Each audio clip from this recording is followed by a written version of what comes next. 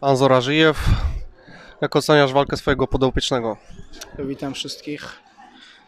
No, zacznę z tego, że jest najważniejsze, że wygrał, ale Krystian, zaraz przyjdę do Ciebie. No, ale nie, przepraszam, nie krzycz na mnie. On jest przeziębiony. On jest...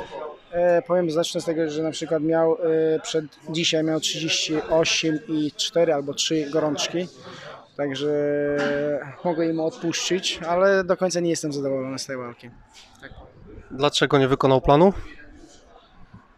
Ja nie wykonał, bo przeciwnik nie dał im. I naprawdę, jeżeli chodzi o stójkę, przeciwnik był bardzo dobrze przygotowany. No i na szczęście dla nas, że nie miał tej zapasy barteru. Nie? Spodziewaliście się pełnych trzech rund? Tak, tak, byliśmy przygotowani na trzy rundy, ale trochę inaczej podchodziliśmy. Myśleliśmy, to będzie walka, wiesz, toczyło się. Mieliśmy plan pierwszy rundzie, wiesz, tam przycisnąć go do siatki, pomęczyć, no i drugiej, trzeciej mieliśmy trochę boksować. A w pierwszym rundzie nam się nie udało się nic zrobić, no przegraliśmy pierwszą, no to zmi- zmiana planu było, druga, trzecia, wywracamy, kontrolujemy i tak dalej. Dziękuję bardzo. Czekamy na kolejne walki. Życzymy kolejnych sukcesów. Dziękuję bardzo. Hej.